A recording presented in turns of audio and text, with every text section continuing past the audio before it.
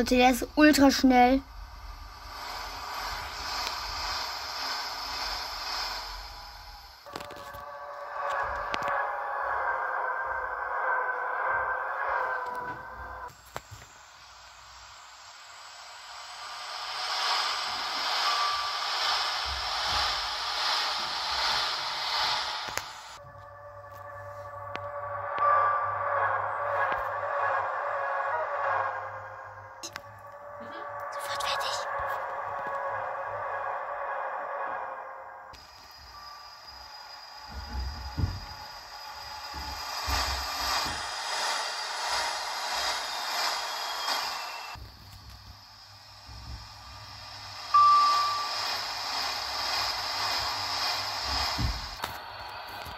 Der hat drei Passagiere.